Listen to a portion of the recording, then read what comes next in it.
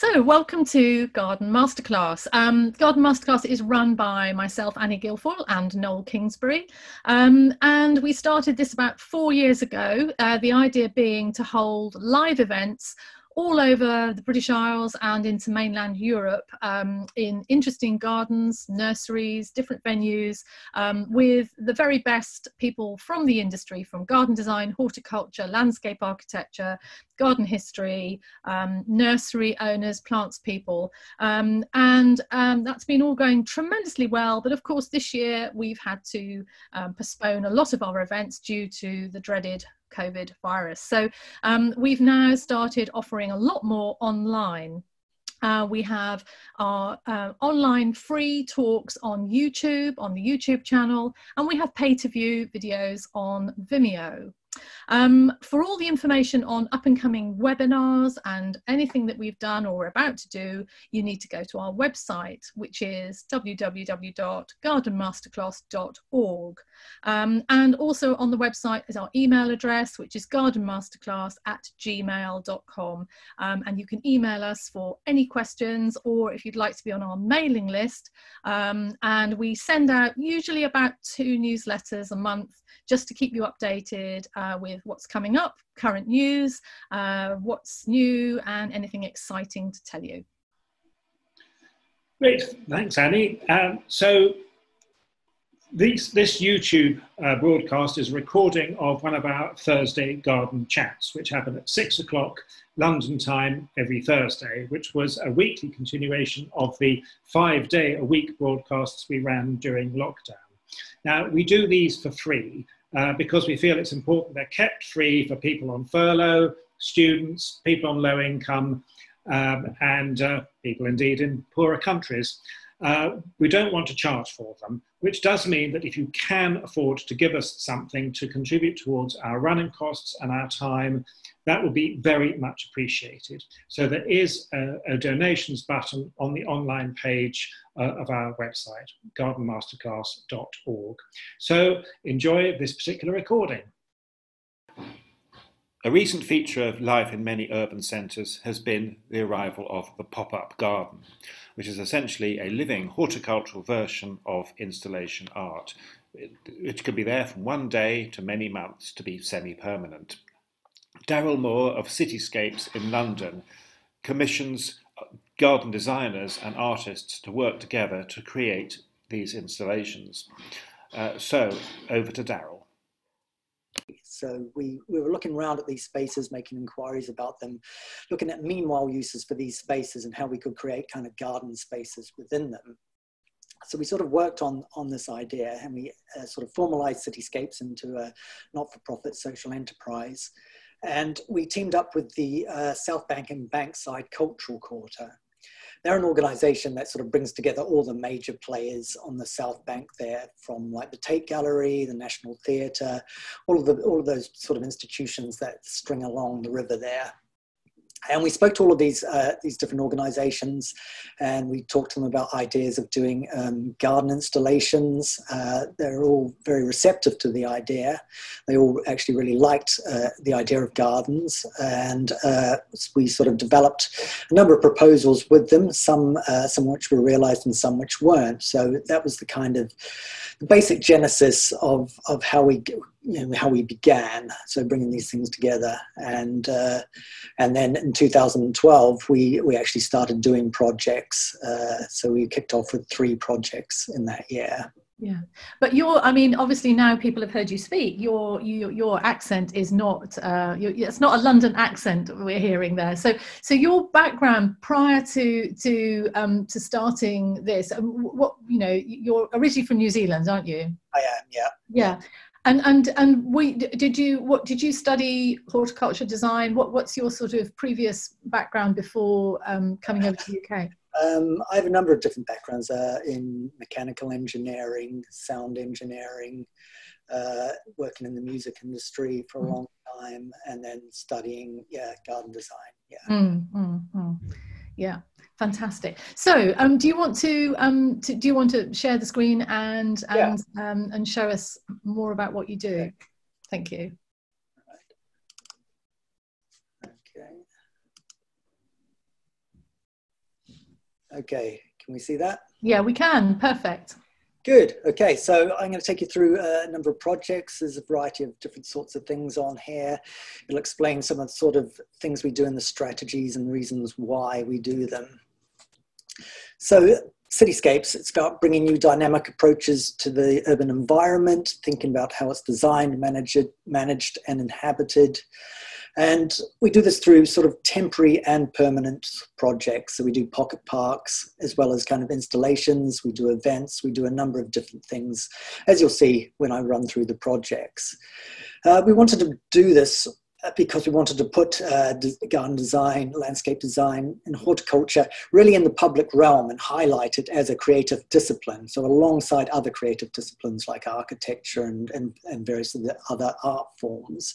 So, we wanted to sort of highlight that it is really creative practice and that it should be sitting alongside these with equal merit as I said, we were looking at sort of uh, empty spaces, underused spaces, and we were looking at how we could create these, uh, into, or transform these into interesting multifunctional spaces so that people can enjoy them, plants can enjoy them, biodiversity. So it's about ecology, economy, and social sustainability. Uh, it's very much a collaborative process what we do. We work with a lot of different uh, designers, artists, and cultural organizations. Some of the projects we invite people in to do the design work, some of them we do ourselves, but it's really about collaboration. It's sort of collaboration, not competition, because we believe that's the way that we can really come up with a lot of interesting ideas and approaches to different types of spaces. And we work with a lot of different kind of partners, including councils, uh, business improvement districts, who are these third party bodies in between sort of councils and private enterprise, and they sort of uh, they charge local businesses a certain fee every year, which they then put back into projects in the local community. So it improves the community for everyone that lives there, works there, and visits there. And we work with community groups and various other sorts of organisations, people like Network Rail and Transport for London as well. So quite a wide range of stakeholders uh, that we're working with. Um, but basically, the key thing is about you know bringing, bringing people and plants together in the urban environment. So on to the first project we did in 2012. Uh, as I said, we worked with the South Bank and Bankside Cultural Quarter, and one of the organisations that were part of that was the London Eye. Uh, so we spoke to them, and they were very keen to for us to do a garden in one of the capsules on the London Eye.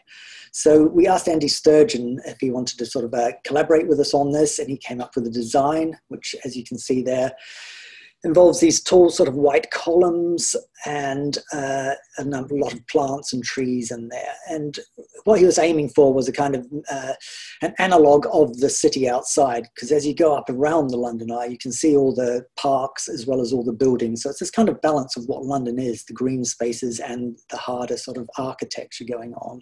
So it was a kind of metaphor for that. Um, this was during uh, May in 2012 when Andy was also uh, exhibiting at uh, doing a show garden at uh, Chelsea Flower Show. So he was pretty busy at the time, but managed to squeeze this into his schedule there. Um, also, Andy wanted a soundtrack for this. So, being a sound artist, I created one, uh, which was an analog of the process of the wheel going round and the views that you saw outside as well. So, it started off with sounds from the immediate South Bank area, the hustle and bustle, the different uh, sounds going on there. Then, when it got up about halfway, it was sounds from Battersea Park, about uh, four miles away and then when we got up to the top, it was sounds from uh, down near East Grinstead, 40 miles away. Uh, so that's the view that you can supposedly see from the top of there. So these sounds transitioned as you went up, basically. The sounds went up as well to further the distance. And then it reversed as it came back down.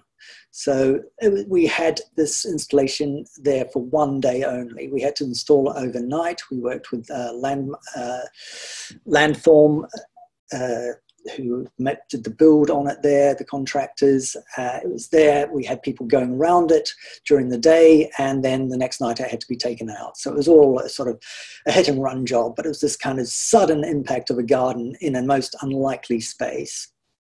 And Darryl, why only one day? Was it is it is it because they didn't want to lose the reven- revenue of, of, you know or what what why? Yeah. Such a shame. Yeah, it is a shame. Everyone well. Um, yeah, it was just that that's what they offered us basically. So that's so that's what we took, and you know, yeah, it was crazy doing it in that sense, but it was it was fine. I mean, uh, the plants Andy was using at Chelsea as well, so it's not like they were you know bought specially for this. It was all being used anyway, so it was all part of it. So then, also related to Chelsea that year. Um, Tony Heywood and Alison Condie are horticultural installation artists. And at Chelsea that year, the RHS introduced a new category called Fresh, about new ideas for gardens. And they asked uh, Tony and Alison to do an installation there. Um, if you know their work, it's very sculptural, it's very bright, colourful. Uh, and they did uh, this uh, installation in the fresh section there. And then after the show, we brought some of these uh, elements to, to create a new garden. And we teamed up here with uh, the Old Vic Theatre. That year, they were doing uh, a special project in tunnels under Waterloo Station, where the old Eurostar depot was originally, a train line. And basically these were empty tunnels and the theatre took them over to do a lot of uh, sort of more edgy kind of work rather than the, tra- the traditional theatre productions they were doing the, in the main theatre. So this was aimed at a younger kind of audience. There were very, there sort of art installations, performances, all sorts of things going on. And they offered us uh, an empty space there, one of these uh, tunnels here, which was you first walked into it. It was a dark, damp space, uh, the trains rattling overhead, and uh, and uh, fungus growing in it. So, okay, we thought that's something to work with. Tony and Alison thought about that. They thought in terms of uh, having living growing matter in there, uh, they would use they would grow fungus. So you can't see it in these couple of photos, but there's a video coming next, which you'll probably see it. There was a greenhouse there we installed in there, and that uh, was growing mycelium in there. We, they worked with scientists from Cambridge about growing mycelium in there. And then we used these different uh, aspects from their gardens and from some of their other sculptural works to create this kind of garden in this uh, dank, dark place.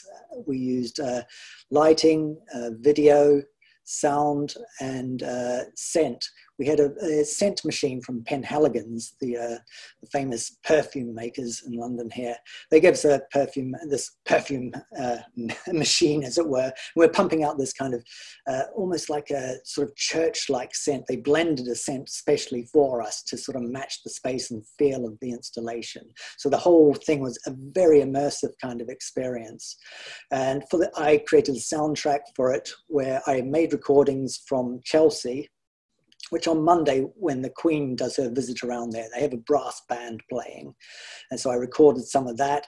I recorded a lot of sounds from in the uh, tunnel itself, so water dripping, trains rumbling overhead, and mixed it all together and processed it to create this sort of 10 minute long symphony of swelling sounds. So uh, there was really a kind of a, a, real feeling you got when you went in there with all of these kind of sensory kind of things that you know sort of uh, coming at you, basically immersing you within this whole entire realm.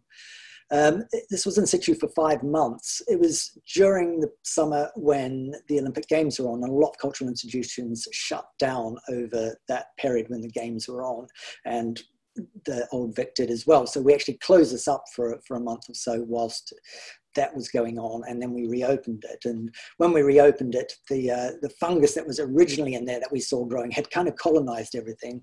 So as you can see in these pictures, there's old sort of trees there and that, which are from Formby, the National Trust property up uh, just up above Liverpool there, where Tony's actually from and there was all this sort of mycelium hanging off those, so it kind of colonized the space. It reclaimed the space. We'd intruded into it, but it had kind of come back at us when we, we, we weren't vigilant because it was closed.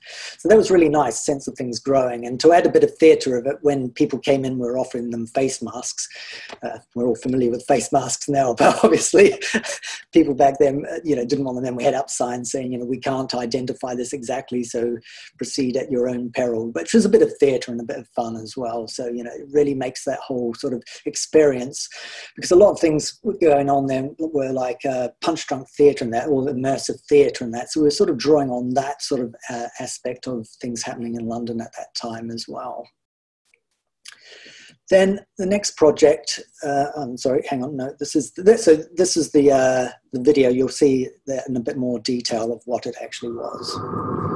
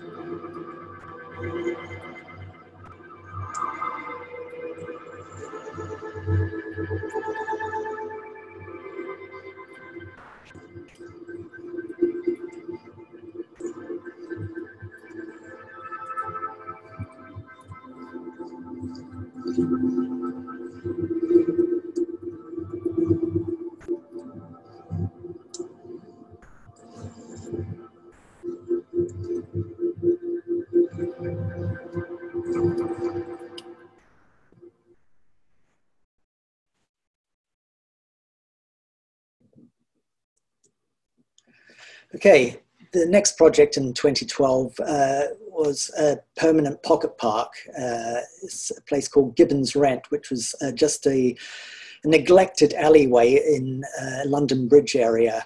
Uh, the alleyway is used for antisocial behavior at night. There was a lot of people around. The area is part residential, part commercial, so there's offices and people living in the area. Um, so basically, the idea was to transform this into a little green oasis. We worked with the Architecture Foundation on this, uh, also Southwark Council, and the local business improvement district called Team London Bridge. So they were the main kind of partners in it. And we got in uh, Sarah Eberle, uh, you know, well-known uh, garden designer, uh, Best in Show winner at Chelsea, etc. And she collaborated with an architect called Andrew Burns, who's actually in Australia. The Architectural Architecture Association held a competition with three uh, young Australian practices, and Andrew won it. So they collaborated on this together. Uh, Andrew came up with this sort of spatial arrangement, which was a sort of harlequin ground pattern, which sort of creates compression and expansion as you move through it, because it's a very narrow space. So it gives you a different sort of sense of space as you move through it. Sarah got these huge uh, concrete uh, pipes, which we used as planters, and that was the basic structure of it. But the idea was that, and it still is, that uh, the community bring in pots as they like. They bring in their own plants. They can use it how they want. So it's continuously changing. It's sort of a continuous form of engagement with the local community. So one year, um, one of the businesses organized a sunflower growing competition. The local school do Christmas carols there. So it's very much community space. I've got a short video which will show you the sort of transformation that took place there.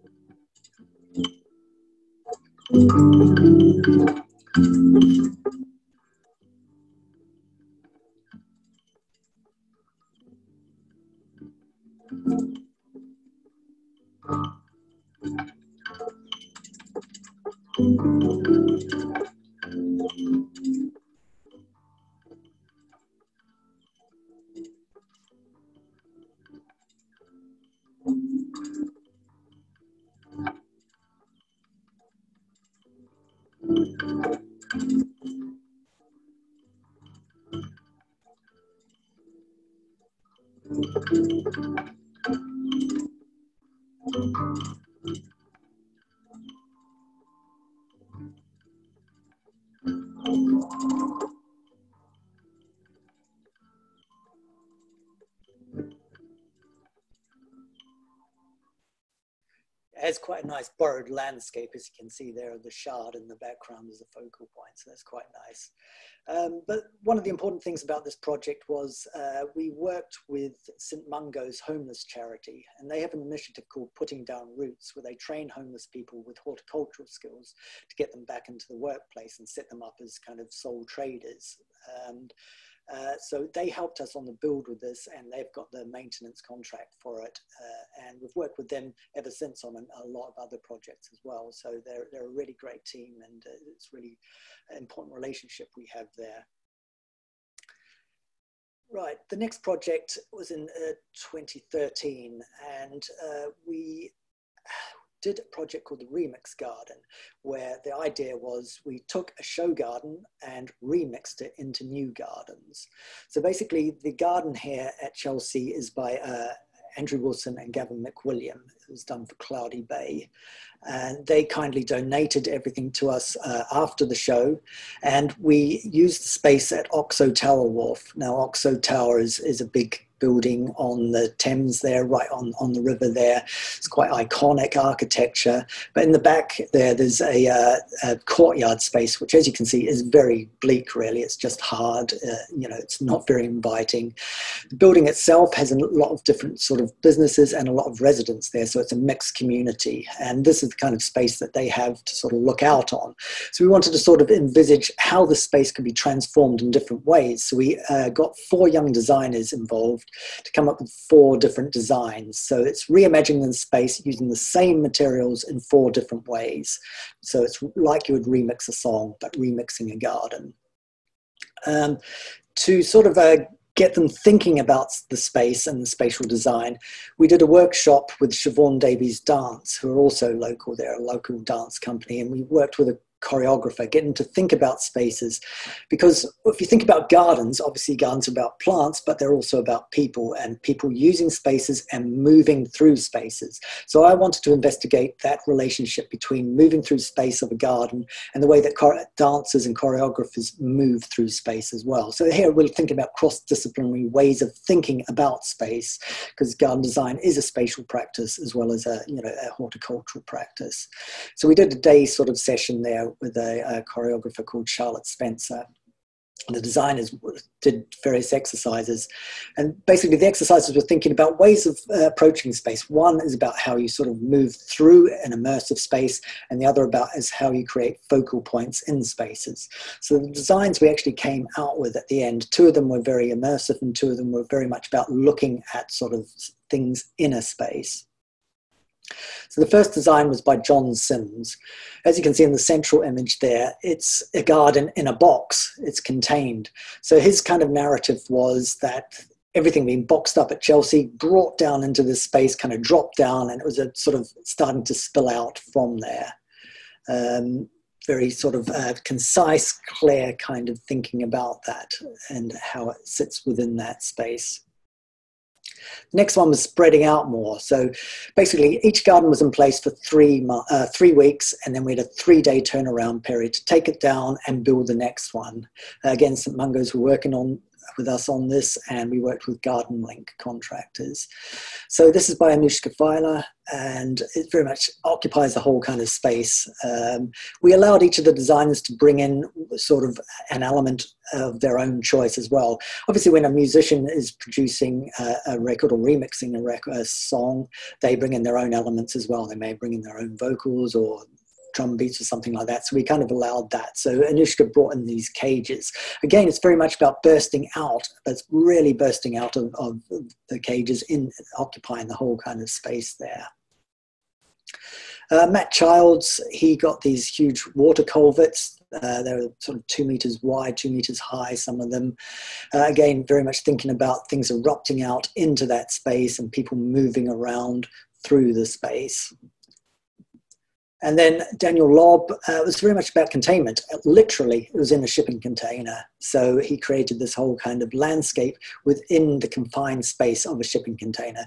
So there again, you can see the elements. You can see the uh, you know the, the, rammed earth walls that have occurred through all of those, same sort of the same plants, etc. And the original garden at uh, Chelsea had a stream running through it, and as you can just see in the image here, there is a stream running through that as well. So running through the garden in the shipping container. Then, uh, as a grand finale, uh, we gave the elements all back to uh, Andrew and Gavin, the original designers, to do their own remix of it. Now, the RHS were partners in this project uh, with us, and so we did an installation at the uh, the autumn show they had in the Lindley Hall there in uh, Victoria, their headquarters. And Gavin and Andrew really pared it back. So they, we had these hooks, which we had suspended objects, which were moving up and down. And then underneath these large bowls, which had different versions of the same materials. So for instance, the rock had all sort of smaller, you know, smaller sized pebbles and things underneath. The apple tree uh, had apples underneath the uh, uh, box of flowers there underneath that was all seed heads. So it's just different conceptual versions of the same thing. Very minimalist kind of approach to thinking about that. And I've got a short video here so you get a better idea of how the whole project uh, uh, proceeded.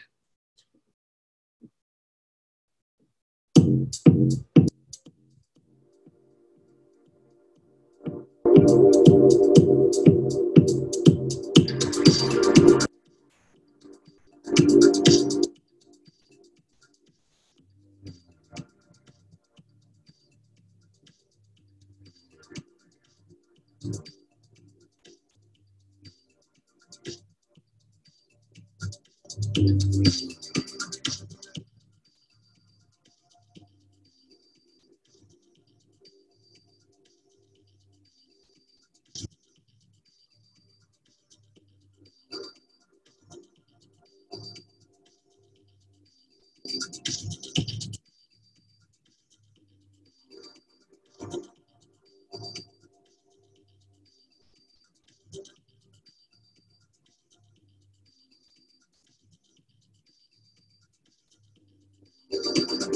Thank you.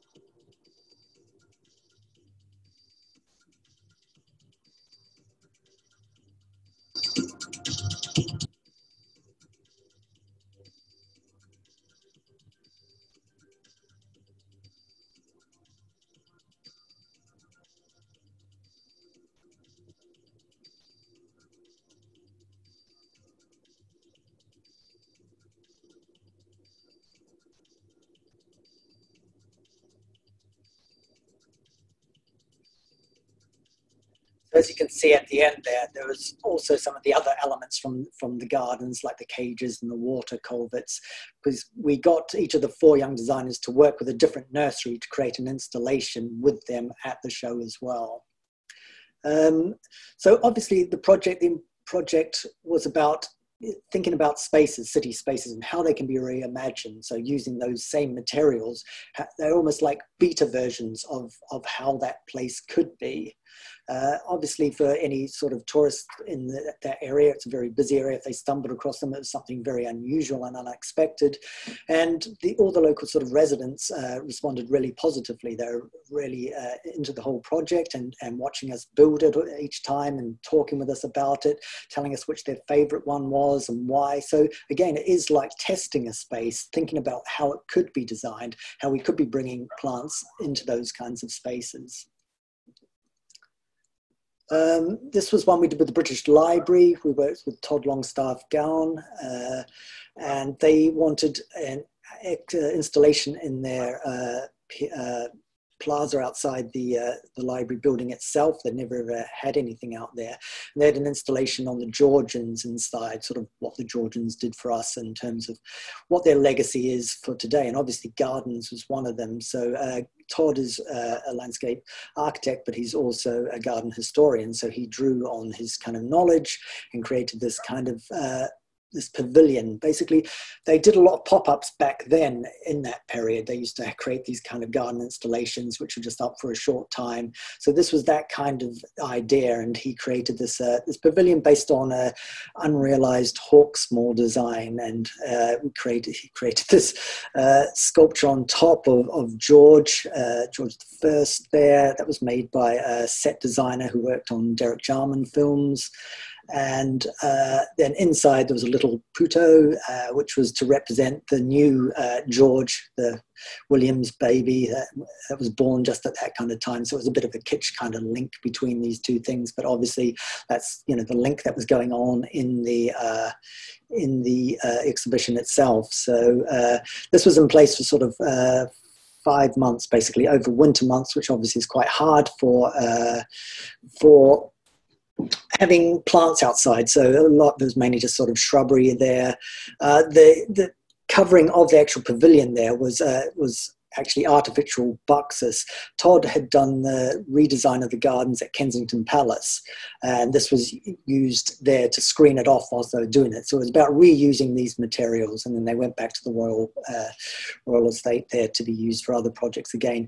Reuse is really something that's really important for us. I mean, as with the Remix Garden project, which was about reusing show gardens, because show gardens can often be such a waste that these things get, you know, a lot of money is spent for a week to be in situ and then things thrown away. We wanted to show that show gardens could be reused for that. So recycling is a, a kind of theme that runs through us. And with the Remix Garden, all the materials that were uh, used in it were used in community projects afterwards. So that, that's a key thing that it's this whole cycle that we have, this whole life cycle for materials and plants.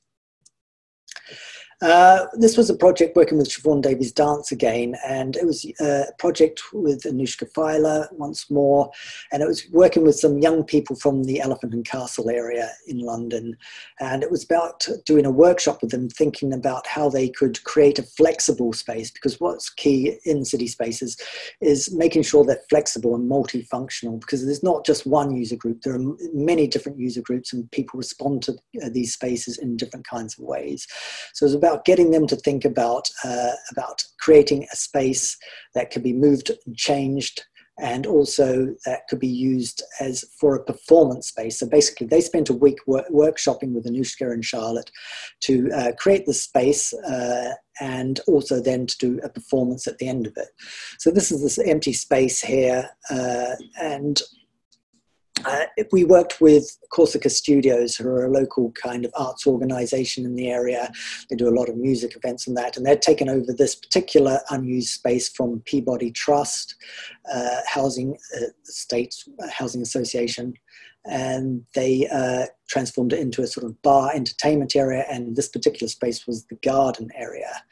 Uh, this is from the performance and there's a short video to show the sort of performance itself and see the space a bit more. But basically, the idea is that these plants and things they're all in gabions, They can be moved around. It's a multi you know multi-purpose space. It can be open. It can be enclosed. It, it, you know, it's really uh, dependent on whoever wants to use it in whatever way.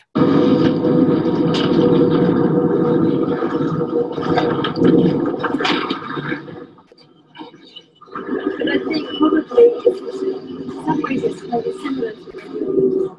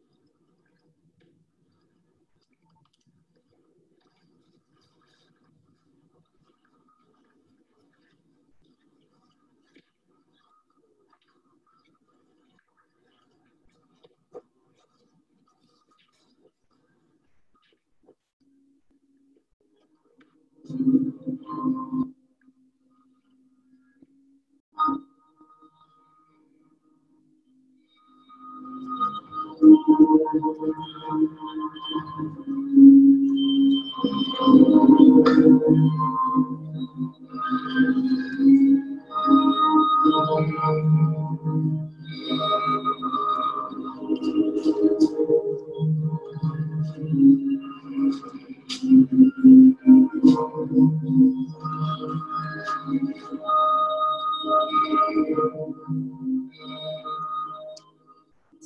plants in that came from a show garden at Hampton Court. So again, using materials and plants from show gardens, showing that there should be an afterlife. It should be mandatory, basically, for all show gardens to have an afterlife. Uh, 2015, we did Greenwood Theatre, which is a, uh, a student theatre in London Bridge. We worked with Team London Bridge, the local uh, business improvement district again.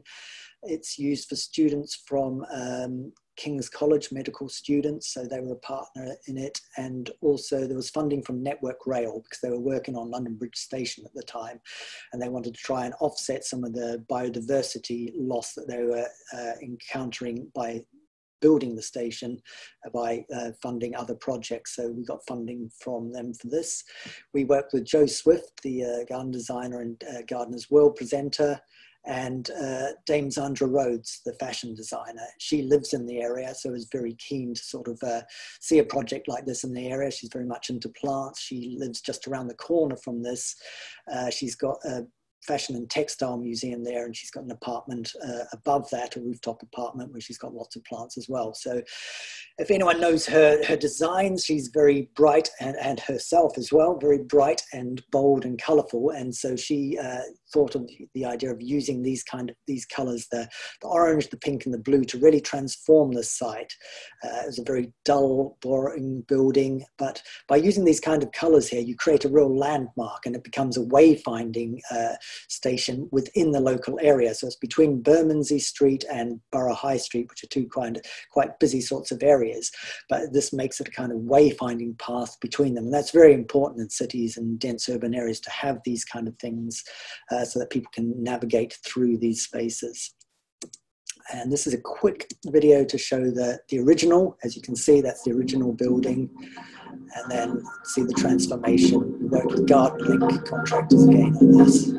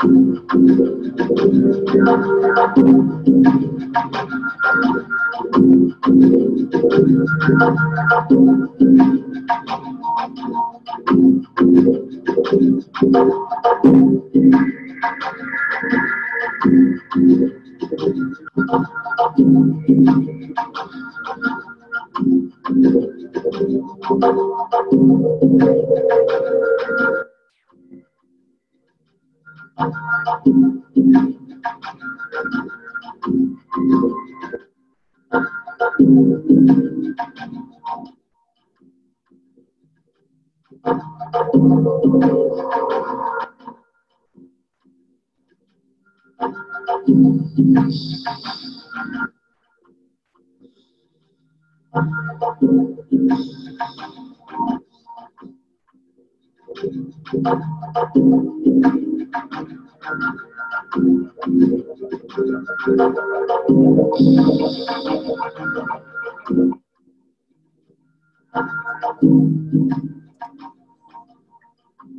we had some local uh, businesses uh, work with us and help us with some of the planting on that. We did a bulb planting day with a local school and St Mungo's putting down roots, do the maintenance on that as well. So again, really a community type project. And that's sort of what it looks like well, last year or so. Uh, things have really grown. It's really developed. It's really well used by the community. Uh, this was an installation we worked with uh, Tony Heywood and Alison Condie again. It was just a, an installation at the Barbican about sort of uh, greening cities, fresh air, living walls. They wanted to do a living wall installation. So we used the greenhouse that was originally in the Majesty project, but uh, Tony and Alison had transformed it by putting stained glass in there rather than just the plain, uh, plain glass. And they created all these different kinds of figures with it again. It's about sort of uh, reverence for nature and greenery within dense urban situations. Uh, this is a permanent pocket park we did uh, created in the end of 2018. It's uh, working with the Business Improvement District Euston Town. It's what's uh, in Euston, obviously, and it's they wanted to create a walking route from Regent's Park to Euston Station. The main road there is one of the most polluted roads in Europe, so they did want to try and get people off there and create a kind of green route for them to walk in, in through this area. So this was part of that. There was funding from the mayor with uh, air pollution project to try and bring more greening projects to sort of offset the terrible pollution there is in London. So this was the original space. It's a it's a uh, college space and this is what we transformed it into. There's two different sides. One side is this side is very uh, very hot and sunny. Uh, the building's windows have uh, reflective, so there's a lot of heat bouncing back from the building as well as coming in from the other side. So it's a very uh, sort of dense uh, grass kind of forb uh, matrix going on there, very sun-loving plants.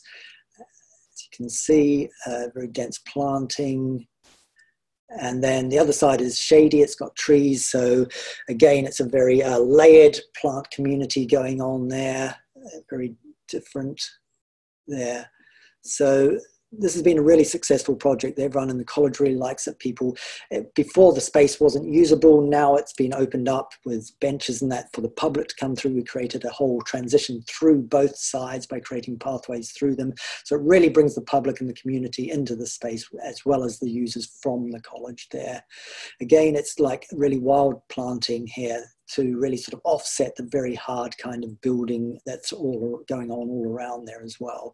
Again, trying to get the benefits of, of wilder planting into, into these dense urban areas. So it's really about sort of that kind of ecological approach to planting in this space. Um, also in the area as part of the same kind of project, extending it throughout the area, there's street planters have done planters on walls, and the entrance to Euston Square station planters as well. So really trying to green up the area there. Uh, then last year we did a project with Team London Bridge again in uh, in a tunnel, uh, passenger or foot tunnel through London Bridge Station. There's, there's, nothing really in this space. We spoke with Network Rail, they were keen on, on animating it. So we did a project similar to the Remix Garden. We got materials from, this time from a number of different gardens at Hampton Court, and we allocated them to uh, four designers again, four new young designers and we gave them certain materials. But the, the idea was that they sort of linked, basically, in the way that uh, there's a surrealist game called Exquisite Corpse, and it's like the, ch- the children's game called Pictorial Consequences. It's the same thing, whereby someone has a bit of folded paper, they draw a head, and then the next person draws the torso, the next person draws the, uh, the legs, etc. So no one knows what's coming, basically. And we allocated certain materials at the end of each of these gardens that had to link up, so it creates a transition through the space there. Uh, these were the, first two gardens, uh, Ula Maria's. There is the first one as you're coming in, then it transitions into Caitlin McLaughlin's garden, uh, Alexandra Noble, and then uh, Sarah Wilson's at the end. So they each had different sorts of narratives about the station, about passing through the station, about people in the station, transit, uh, ephemerality, all these sorts of ideas. So each of them had individual narratives which they're expressing and thinking about the space and the station as a whole. Obviously, again, it's a really surprising space to have a garden uh, or a series of gardens, and it really kind of, you know, engaged people passing through the station and Network Rail were very pleased with it and they've now asked us to design a permanent garden or a series of permanent gardens in there. So uh, I'm working on the design for one which will instigate next year and then the following year there'll be another one. So there'll be two or three permanent gardens in this space. Again, you know, Network Rail were really excited about this and saw how this could sort of work at various stations. So hopefully it's something we'll be dealing with in other stations as well. Uh, just quickly, some projects we've done with the RHS. They've got us to work at a lot of different sorts of shows for them. This was uh, a design show they had. Uh, we did this uh, project called the Design Debate Station, which is very much an interactive project. We had a greenhouse with some planting and neon lights inside it, and we had a series of questions on the actual windows there, asking about design, asking about uh, you know how we can approach uh, things like sustainability and change with plants and with design, and then we got people to respond to them by writing on the greenhouse windows, so graffitiing the greenhouse. So it changed throughout the whole period of the show by getting people's responses to these questions about thinking about how we can be using design and plants for change. Uh, this was at Chatsworth Flower Show the first year the RHS held it. They asked us to do an installation in the central marquee they had there, which was a big inflatable pavilion based on a Joseph Paxton uh, design. Uh, obviously, he was the, the head gardener at, at, Chatsworth, and they wanted us to sort of think about uh, what a contemporary sort of take on Paxton's way of thinking would be. And so we sort of were think, looking at a lot of um, horticultural technologies from the Netherlands, and they're very advanced in, in horticultural uh, tech. We went over, saw some shows, spoke to some people there, and we came up with this uh, this installation, which is a big hanging structure, sort of skeletal structure. There's the plants on there. There's mist to keep the plants alive. There are lights which then reflect off the uh, the mirror ball, red and uh, blue horticultural lights, so showing all the different elements that you need for plants. And then it was dropping into a huge seven foot uh, pool at the bottom there, and then sort of evaporating from there again. So just a kind of a you know a very uh, interesting take to get people thinking about horticultural technology today in the same way that Paxton was thinking about it back in his time. Uh, we curated the Urban Garden Show for the RHS. It was a new show. They wanted to engage a younger demographic at their shows. They wanted to sort of uh, think about what younger people, in urban situations who don't have gardens but may have balconies or very small courtyards, thinking about the way that they were responding to plants today and also the, the craze for house plants, which in sort of 2016 was, was a massive thing on Instagram. So we sort of brought together a lot of different uh, stall holders, reconvened Lindley Hall in a whole different way, created installations, uh, which one was uh, focusing on sort of arid plants and the other was on tropical plants, trying to get people to understand the basic differences in house plants. You know, people are just going out, they're seeing house plants on Instagram, they're going out and buying them without really knowing anything about them. So it's a whole educational aspect of this as well. Uh, the following year, we then used some of the elements from our uh, Chatsworth installation to create sort of uh, central installations within the uh, Lawrence Hall there, and again, lots of different stall holders, plant-based food, showing you know the importance of plants to the whole way of life. So it's about a whole plant way of, of living, basically, thinking about plants. It's been essential to the way we live our lives, particularly in urban situations. And then at the third one, we did an installation uh, called Plant Peep Show, where we sort of had this structure like a peep show structure. Inside was showing plants and flowers, sort of reflecting upon the whole fascination with flowers rather than plants as a whole, the kind of pornography of plants. That we get fascinated with flowers rather than thinking about the whole range of things and that plants do ecologically and the whole form of plants and why they take certain kinds of forms. So it was a sort of an exploration of those ideas. Uh, at the other end of the scale, we also do some sort of master planning, working with councils. This was a, a design for Southwark Council, uh, streetscape there, and this was one for Haringey Council in North London, uh, looking at a streetscape around a redeveloped sort of station there that Network Rail had uh, had made. Uh, yeah, had, had, done some work on the station because it was going to be used more. Uh, route out of London, that part of sort of northeast London is becoming uh, a lot more occupied, uh, a lot more things going on around there. It's just down the road from the Spurs studio where there's been huge redevelopment. A lot of that's real gentrification. There's a real problem with that because it displaces existing residents and council estates around there. So we were trying to look at ways that we could create sort of opportunities by creating sort of temporary studios for new local startup businesses for local people to get in there as well. So it's not just about an influx due to gentrification. Um, and then this finally is a project we've been working on for a while with the Dutch Embassy. It's to create a uh, river station at Vauxhall on the Thames, uh, a destination pier basically. So we're working with Thames Clippers, and basically, the idea is to create this kind of uh, huge floating greenhouse, is the original idea. But basically, at the moment, it's just a wooden pier. It's totally exposed to the elements. A lot of people don't use the, the river as a form of transport, despite the fact that there are these ferries going along there. And the, the Greater London Authority and the Mayor want to get more people using that as an essential form of transport through London. So by creating a destination pier, it creates something, you know, uh, an idea that could be rolled out across a lot of different piers across there to encourage people. They can go in there, they're not standing out in the rain, they can have a coffee.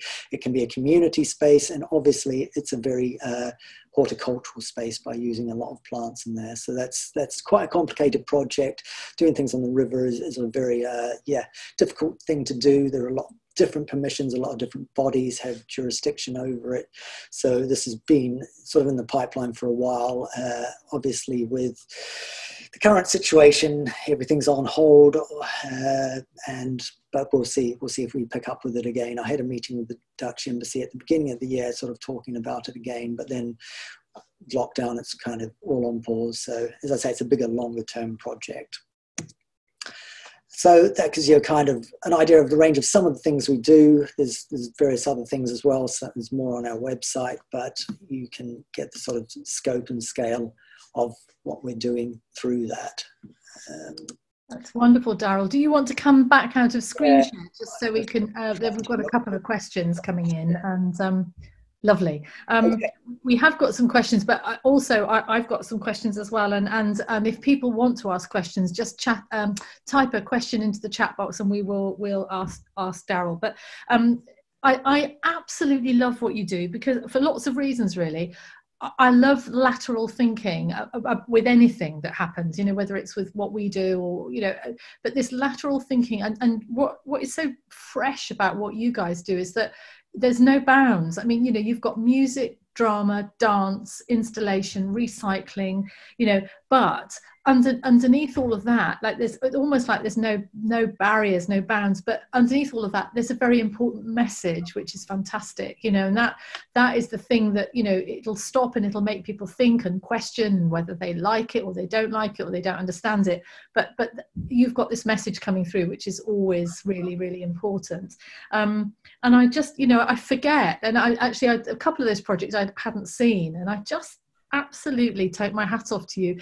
Um, do you walk around London, you know, on a day to day basis? Obviously, not at the moment, but do you walk around London sort of looking at little spaces and kind of, is your head kind of spilling with ideas of, oh, we could do this, we could do that? I mean, do you find you look at a space so differently because of what you do?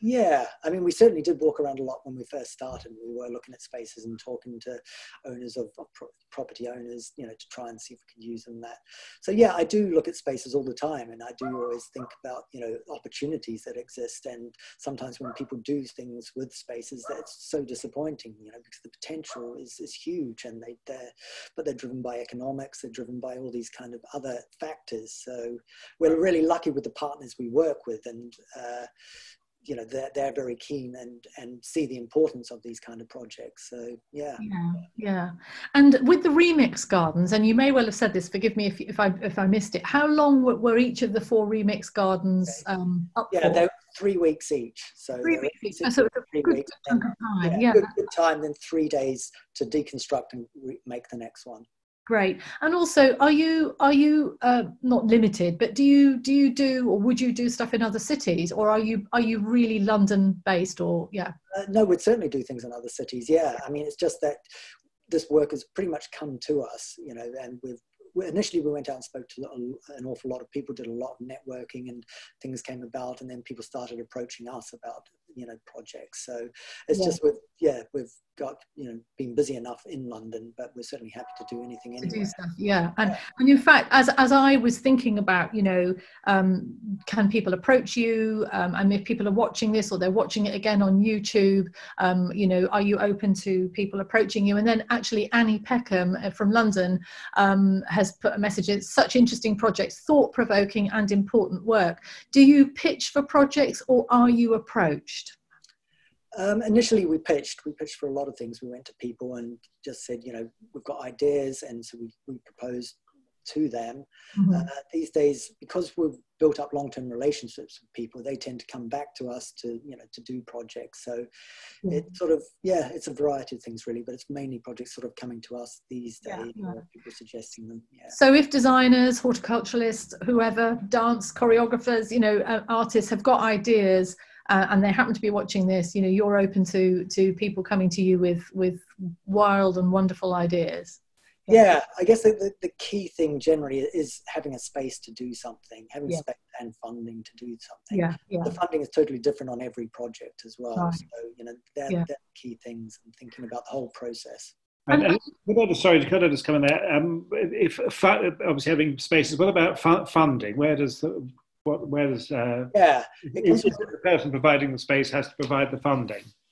Um, it depends. It really depends. So uh, when we work with business improvement districts, as I say, they get funding from businesses and they get grants like from the Yeah, mayor's office, people like that.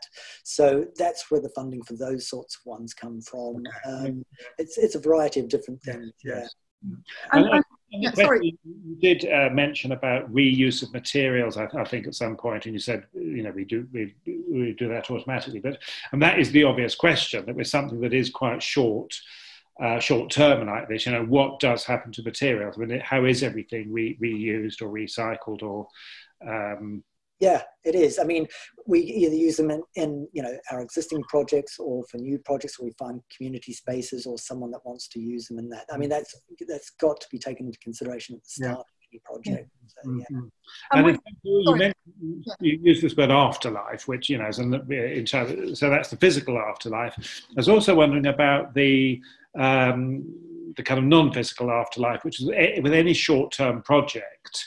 Uh, how if, if if it's just there for if it is it going to be just a nine-day wonder, or are they some way recorded, or what is there any sort of um, yeah afterlife for, for, for projects in, in, in terms of uh, re- recording or other other uses may, made of recorded material. I mean, obviously we photograph everything. We Mm, uh, so we we do document them. Yeah. Of them, you know, some of them the surveys done with with people visiting them to get data. that sort of yeah, yeah. well. So yeah, yeah. And with, with my sort of sensible hat, hat on, I'm looking at some of the remix projects um, where you're using, you know, uh, it's in the public space and you've got, you know, big, sharp, heavy objects. Health and safety, um, do you have to, I mean, you must have to jump through hoops of fire to, to, to get these things agreed and okayed and ticked in terms of a, a big load of, of materials sat in a public space. How difficult is all of that to sort out?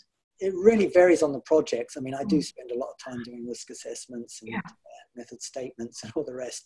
Um, obviously, that's a really important part of it. I mean, with the Remix Garden, we were working with Coin Street Community Builders, and, and they were very open, and they were very, you know, we did all, all the paperwork, and they were, they were happy with everything. Mm-hmm. So, when we're working with in, in stations, if it's Network Rail or TFL, then then it's a lot more regulated. It's a lot more difficult, you know. So, I mean, it's not difficult. It's just that's part of the design process of finding ways to do things safely. So Yeah. that, that, that's, that is what design is as well. And one thing also, you've reminded me that we we we've spoken to Tony Heywood and Alison about about you know having them on, and we must we must. You reminded me we need to we need to get Alison and Tony on as well and talk to them Yeah, because yeah, yeah. what they do is always so wonderfully outside. You know, it's just brilliant, brilliant stuff. Um, and we were talking to you earlier about you. You've got a book on the go, haven't you? I do, yeah. Yeah, yeah. And and and that and and the and the gist of that is more is that more plant based? What what's the what's the sort of or what's the uh, brief that you've got there for that? Uh, it's yeah, it's thinking about plants and our relationship to plants. Uh, Mhm. Thinking about the importance of plants. Obviously, with climate change, we're thinking about plant, you know, plants in different ways. That everyone's using sort of terms like green infrastructure and all these other sorts of things so in cities. Um, but it's just thinking about the very core things that plants do and thinking about how we can be, you know, creating better relationship with plants. The, the binary division between sort of nature and culture. Thinking about how we can break that down, what that philosophical tradition is, what the new forms of philosophy and thinking of that are, whether it's sort of object-orientated ontology, ecofeminism, queer ecology. There's a lot of different ideas out there now. And then mm-hmm. thinking about sort of more ecological styles of planting, a bit of the history of that, current people doing it, and then about sort of plant science, about where that may actually go, utilizing more ideas about sort of uh, bacteria in the soil, plant insect interactions, how we can be incorporating the contemporary plant science into that in, in more sort of granular detail, I guess, as well. Fantastic, fantastic. And a couple of months ago, we had a we had a bit of a, de- a Chelsea debate on on uh, Garden Masterclass online. Um, what what are your views and thoughts about the sort of uh, you know long term Chel- Chelsea style shows? Not just picking on Chelsea necessarily, but you know the garden shows that we've got. I mean, they are incredibly wasteful. Even though you know um, I know the RHS you know do try and get people to to to stipulate they're going to reuse things. But what what what do you think about our, our garden show culture in the more traditional sense of how it's been happen? Yeah, I don't know. I mean, obviously, it's, it's always been this balance, isn't it, about promoting horticulture and getting across mm. to a wide audience through through the media, and and the kind of waste that goes on. I mean, you know, that is that is terrible. That's something. You know, so much money is spent for so little time as well, and that's mm-hmm. for commercial use. You know, promotion and all these other things. It's all part of the package, obviously, and that you know, it's it's a big a big part of what the RHS does, of course. And, you know, they have been criticised for it and we've had a lot of debates with them about this. And obviously we try to engage by using materials from shows, but, you know, that should be something that is mandatory, really. That yes, the yes. garden has to have that. So that would be the, the start. Um, yes. With the whole kind of economic situation and that now, you know, who knows? It's, it's, it's, a, it's a question as to what, you know, whether sponsors think that is a valuable thing to do. But, you know, hopefully if they do do it, they would see that the real value is the longer term afterlife value yeah yeah. And, and and before we sort of wrap up um, darryl a couple of a couple of lovely comments. Wendy over in south carolina saying i love the use of recycled objects that are incorporated into the gardens concrete pipes and, and corrugated metals etc and up in scotland i love the way that so many different disciplines are used in these projects and i absolutely agree with her. I think that thing of you know bringing together so many different disciplines is so important and and will have a great effect on the people that are involved and people who are viewing these um, so I think, you know, I think my my kind of message would be keep doing what you're doing because I just think it's so fresh and so wonderful. And um, you know, it is like a breath of fresh air, actually, Darryl. You know, it, what you bring, um, because it, I think you know I need to sit and look through this every now and again just to think, yeah, you, you, this is possible and that's possible, and we do get so stuck in our ways. I think you know it's so easy to get stuck in stuck in a sort of you know a narrow narrow view of what we do. And um, I, I love the way that both you and Adolfo and everyone that you you know there is this idea of you know you can do anything really. You can bring all sorts of things together. So um, yeah just keep keep doing it. Don't give up Thank you. I will. and good luck with the book because I know that is that's hard work because it's you know it's it's a it's quite solitary, isn't it? It's just you yeah. and the, and the keyboard. just, yeah. Yeah. Yeah. yeah. Luckily, lockdown's afforded me a bit of time for research. That's been nice. Yeah. Yeah. Yeah. But listen, thank you so much for putting yeah. this together yeah, for thank you. Thank you, Darryl. Yeah. yeah, yeah, it's lovely to have such a different different aspect of our of our our world sort of you know and, and doing what you do. Yeah paula real says love the projects and thank you. So yeah lots of very happy people that you've you've brought the message to tonight. Thanks for having me and thanks okay. for Bye. hope to see you soon. Take care. All the best. Bye. and bye everybody else. Bye